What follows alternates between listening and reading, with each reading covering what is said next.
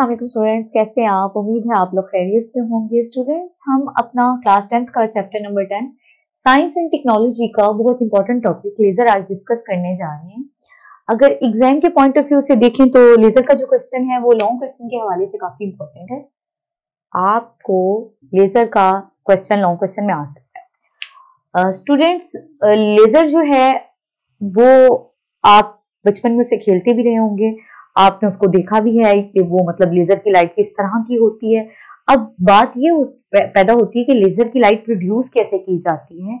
उसके क्या फीचर्स हैं और वो हमें हमारी आम लाइट से डिफरेंट क्यों नज़र आती है? तो स्टूडेंट सबसे पहले हम देखते हैं कि L A S E R जो लेजर का वर्ड है ये किन जो है ये एब्रीवेशन किसका है? Light amplification by stimulated emission of radiation तो इसका मतलब है स्टूडेंट्स की लेजर जो है, वो एम्पलीफाइड लाइट है, जिसको स्ट्यूमुलेट करके रेडिएशन को एमिट किया जाएगा।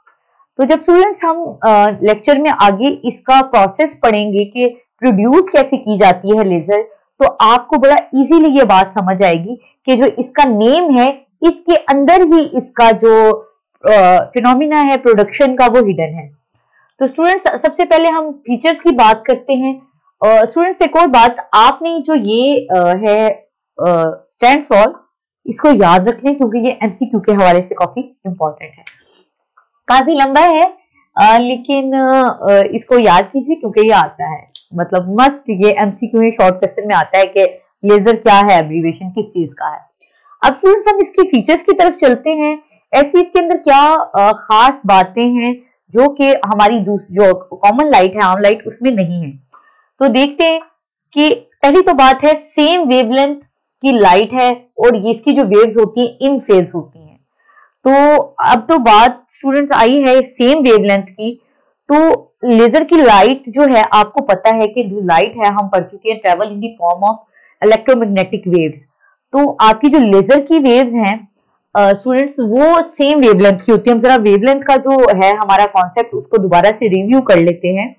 हम स्टूडेंट्स पढ़ चुके वेव के बारे में कि वेव जो होती है वेव के बारे में स्टूडेंट्स हमने पढ़ा कि जब एक वेव की एक क्रस्ट से दूसरी क्रस्ट के दरमियान का जो फासला होता है, उसको हम लेमडा या वेवलेंथ से शो करते हैं। ठीक है स्टूडेंट्स ये इसकी वेवलेंथ होती है। और आपकी जो लेजर की लाइट है सब की वेवलेंथ सेम रहती है।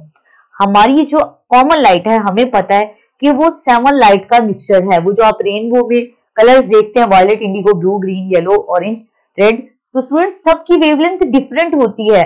तभी वो जो आपको रेनबो बनी नज़र आती है, उसमें कोई ज़्यादा पाथ ट्रेवल कर रहा होता है और कोई कम डिस्टेंस ट्रेवल कर रहा होता है। तो हम ने कहने का मकसद ये था, बताने का मकसद ये था कि इस लाइट की तमाम वेव जो हैं, जो कंपोनेंट्स या जो वेव्स इस लेजर लाइट को बनाती हैं, सबकी वेवलेंथ सेम होती है। पहला पॉइंट क्लियर हुआ? अब अगले पॉइंट की तरफ़ चलते हैं। अगला पॉइंट है इन फ़ेज़ इन फ़ेज़ का मतलब है कि दो वेव्स इस तरह ट्रेवल करें, इस तरह सिंक्रोनाइज्ड होकर ट्रेवल करें कि कभी भी उनके दरमियान कोई फ़ेज़ डिफरेंस ना आए। अब मैं आपको इसको एक एग्ज़ाम्पल से समझाती हूँ। ये समझे कि हमारे पास ये जो थी, ये वेव वन थी। और अगर मैं कहूँ कि वेव टू इसके साथ इस तरह ट्रेवल करे कि बिल्कुल हमेशा इसके साथ ही ट्रेवल करे। यानी कि ये जो मैंने रेड से ड्रॉ की स्टूडेंट्स यानी कि वो, उन दोनों के दरमियान कोई फ़ेज़ डिफरेंस नहीं है, आगे पीछे नहीं जा रही। इसका मतलब है दोनों वेव सिंक्रोनाइज्ड होकर चल रही हैं। बहुत सारी वेव जब सिंक्रोनाइज्ड होकर चलती हैं, इन फ़ेज़ होकर चलती हैं, उनके दरमियान कोई फ़ेज़ डिफरेंस नहीं होता तो हम कहते हैं कि ये किस तरह की लाइट है? लेजर लाइट की प्रॉपर्टी है। आम लाइट में इस तरह नहीं है। तीसरी स्टूडेंट्स बात करते हैं तो मोनोक्रोमेटिक है। लेजर लाइट का फीचर एक ये भी है कि ये मोनोक्रोमेटिक है। मोनोक्रोमेटिक के वर्ड को अगर हम बायसेक्ट करें, ठीक है स्टूडेंट्स तो हमें पता चलता है मोनोक्रोमेटिक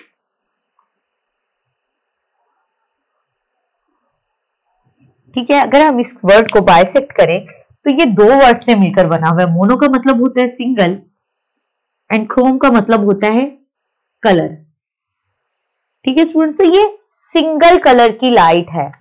इसकी फ्रीक्वेंसी भी लाइट की वेव्स की सेम होती है। ये मोनोक्रोमेटिक है सिंगल कलर की है।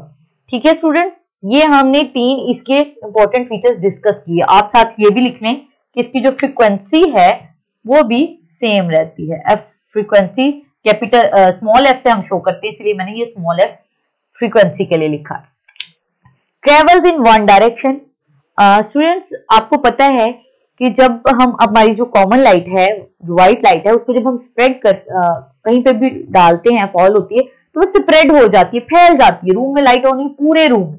लेकिन अगर मैं लेजर को ही रूम में ऑन करूँ तो वो एक स्पेसिफिक पॉइंट पे, अगर मैं वॉल पे उसको पॉइंट आउट करना चाहती हूँ तो वो वहीं पे जाएगी। इधर उधर नहीं फैलेगी। जैसे मैं टॉर्च की लाइट एक हाथ में टॉर्च लाइट पकड़ू और एक हाथ में लेजर लाइट तो आप देखिएगा कि अगर जब मैं वॉल पे दोनों लाइट्स को फॉल करूँगी तो लेजर जो है वो बिल्कुल एक पॉइंट की तरह, एक नुक्ते की तरह जाकर उसके ऊपर लगेगी और जो आपकी टॉर्च लाइट है वो बिल्कुल स्प्रेड होकर फैलेगी।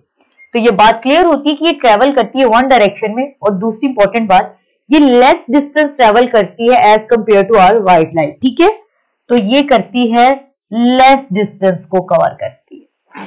ठीक है स्टूडेंट्स अब अगर हम देखें कि इसको प्रोड्यूस कैसे किया जाता है तो हमारे पास स्टूडेंट्स ग्लास है सेमीकंडक्टर्स हैं, कुछ क्रिस्टल्स हैं, जैसे कि मैंने यहाँ पे रूबी की एग्जांपल दी हुई है रूबी रेड सा क्रिस्टल होता है ये जो स्टूडेंट्स हमारे पास ग्लास सेमीकंडक्टर्स और ये क्रिस्टल्स वगैरह हैं इनकी वजह मदद से हम लेजर लाइट को प्रोड्यूस करते हैं।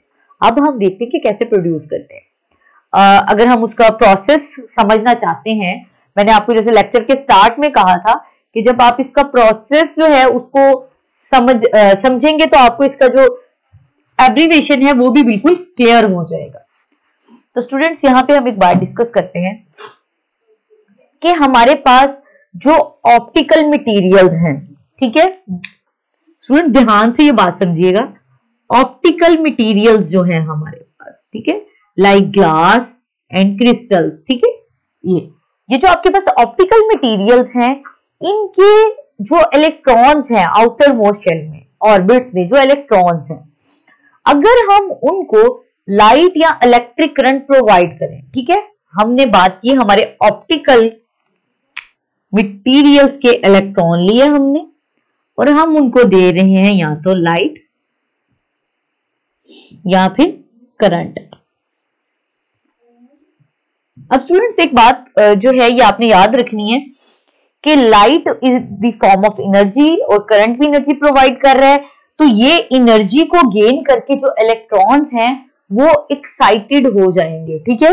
इन्होंने गेन की एनर्जी और ये हो गए एक्साइटेड और ये एक्साइटेड होकर अपने ऑर्बिट को छोड़कर हायर एनर्जी के ऑर्बिट में भाग जाएँगे, ठीक है? स्ट्यूमुलेट किया हमने उनको और वो एक्साइटेड होके चले गए। स्टूडेंट्स एक बात आपने हमेशा याद रखी इलेक्ट्रॉन जब भी मूव करता है, उसकी वजह से एनर्जी प्रोड्यूस होती है। ये बात आपने याद रखनी है, जब भी इलेक्ट्रॉन मूवमेंट शो करता है मूव करता है, उसकी वजह से एनर्जी पैदा होती है। तो ये एक्साइटेड हो गए अगर स्टूडेंट्स यहाँ पे मैं ऑर्बिट ड्रॉ करूँ कि समझें, ये था ऑर्बिट ए वन और ये था ए टू और इलेक्ट्रॉन था यहाँ पर। इलेक्ट्रॉन एक्साइटेड हुआ और ये भागकर इसमें गया, ठीक है? हाई एनर्जी स्टेट में चला गया।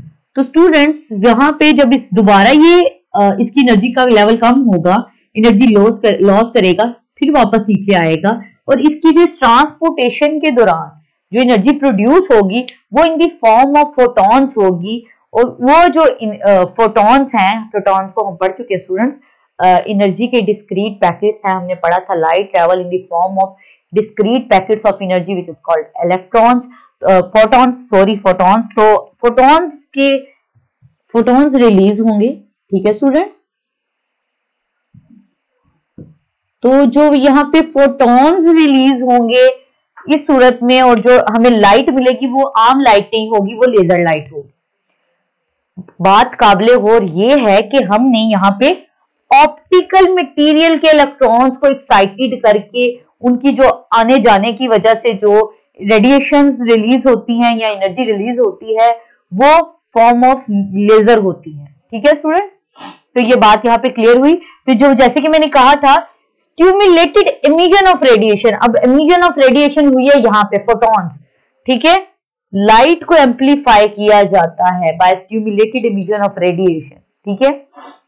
तो स्टूडेंट्स यहाँ पे हमें पता चला कि ऑप्टिकल मटेरियल्स के इलेक्ट्रॉन्स को एक्साइटेड करने से जब वो अपना ऑर्बिट छोड़ के जैसे हाई एनर्जी स्टेट में या हायर से वापस लोअर एनर्जी स्टेट में आते हैं तो वो लेजर लाइट को प्रोड्यूस करते हैं। अब स्टूडेंट्स एक इसमें इंपॉर्टेंट जो इसका सबसे इंपॉर्टेंट फीचर्स है फीचर में एक है वो ये कि लेजर की जो लाइट है, वो पावरफुल होती है, उसको एम्पलीफाइड किया जाता है। एम्पलीफाइड का मतलब होता है कि उसके मैग्नीट्यूड को बढ़ाया जाता है। किसी भी चीज़ के जो उसका असल मैग्नीट्यूड है, उसको बढ़ा दिया जाए तो हमने कहा कि हम उसे एम्पलीफाई कर रहे हैं। जैसे कि लाउड स्पीकर में जब कोई बोलता है तो उसकी आवाज़ एम्पलीफाइड होती है, कई गुना ज़्यादा ऊँची सुनाई देती है।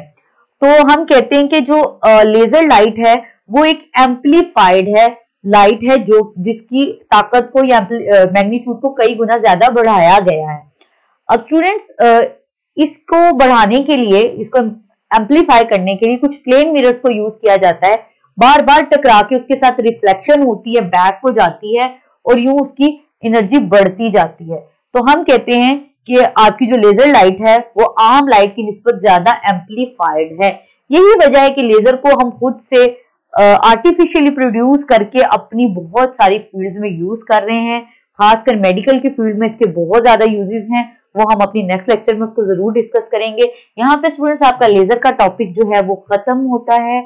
हमने पढ़ लिया कि लेजर किस तरह से प्रोड्यूस होती है और उसके क्या यूनिक फीचर्स हैं। जो कि हमारी व्हाइट लाइट से डिफरेंट है। आप इसको पॉइंट्स बनाकर अगर जहन में रखेंगे तो इस पैराग्राफ को कवर करना आपको बहुत इजी लगेगा। प्रोसीजर आपकी बुक में इसकी प्रोडक्शन का इतना डिटेल नहीं है, लेकिन मैंने आपको समझाया है ताकि आपके जहन में एक इमेज सा क्रिएट हो जाए कि लेजर लाइट कैसे प्रोड्यूस हो रही है। इसके पॉइंट्स बनाकर इसको स्टूडेंट्स याद कीजिए, अपना बहुत ख्याल रखिए। अल्लाह हाफिज।